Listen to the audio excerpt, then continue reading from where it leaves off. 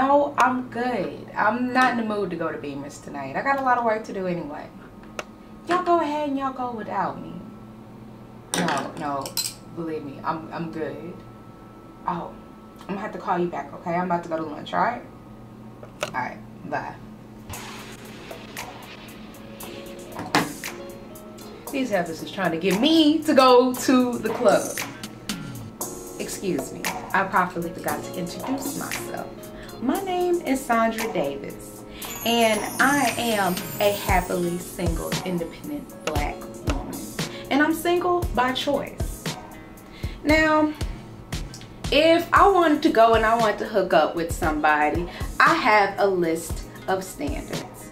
Number one, he has to be at least six four and above. I need to be able to look up at him and hold him and grab him. Ain't nothing better than a tall, strong, muscular, dark chocolate man. Mm, mm. Yeah, okay, anyways. I can't be having no scrub up in my house talking about, baby, let me hold $5. No, fuck that. Hold your own damn $5. Number three, I have to be with a man that is college educated.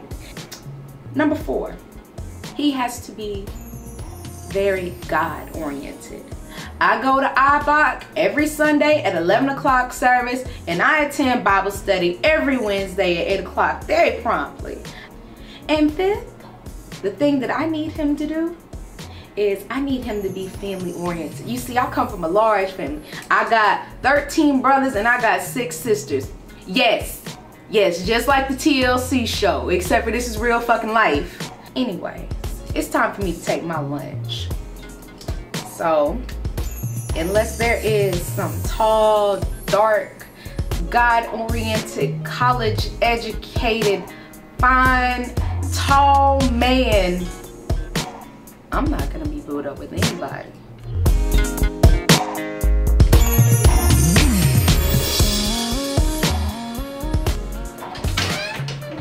Hey, you going to lunch?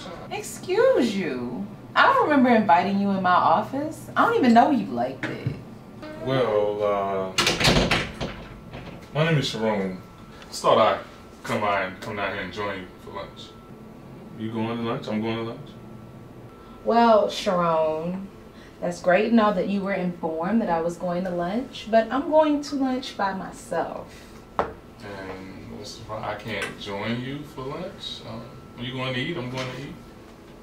We can eat together. No.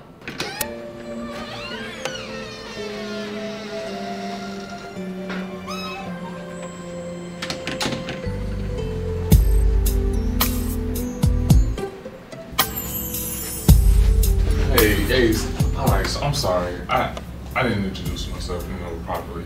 I'm designer Sharon. Uh, I work on the fourth floor, uh, executive marketing.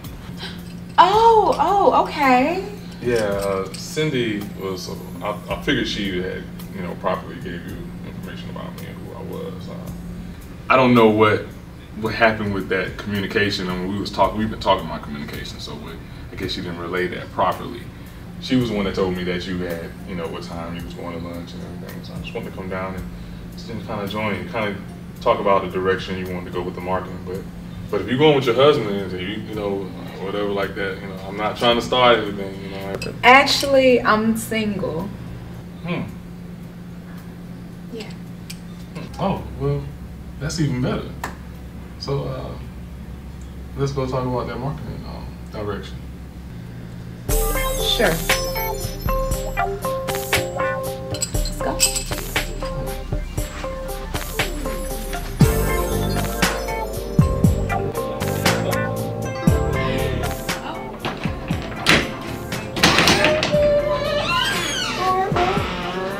Welcome back to the office. Uh, Pull a chair. crazy. Get comfortable. Okay. Since you're the executive of marketing and direction, you make what, about $8,000 a year? Uh, no, that's actually where I started off at. I actually make a hundred thousand dollars. A year. Oh, $100,000 a year. Oh, that, that's, that's nice. That's, that's really nice. And Do you have any family that lives in this area? I actually do. Uh, my mom and my sister stays here. I just actually I just took my mom and my sister to dinner uh, the other night um, after church. You know, and kind of, kind of traditionally we kind of do that. We kind of go out every week. I try to do something for my mom every weekend. So, you know, had a wonderful, great service. Really? You you go to church? Do you go every Sunday? Yeah, I go, go every Sunday. That's that's a must. No, mom, mom didn't put that. She, hmm. she instilled that in me early. Oh, really? Okay, so he's not six four, but he works on the fourth floor. So I could still look up at him. Ladies, forget everything that I said about these standards. It's okay to have a basic list of requirements, but let's think about this. If you're constantly adding on things to your list that you know that no man can fulfill, then how is that going to work out for you? Always keep a basic set of standards. Don't do anything outrageous that you know that can't no man in this earth fulfill. Believe me, ladies, Obama is taken and Jesus never married. So sometimes it, it really doesn't hurt to, you know, either cut off your list, cut down your list, revise your list. Anyways, do what it is that you have to do. Also, you know, with all of our lists and all these requirements that we make, you know, you might miss out on something that's either in front of you or works on the fourth floor.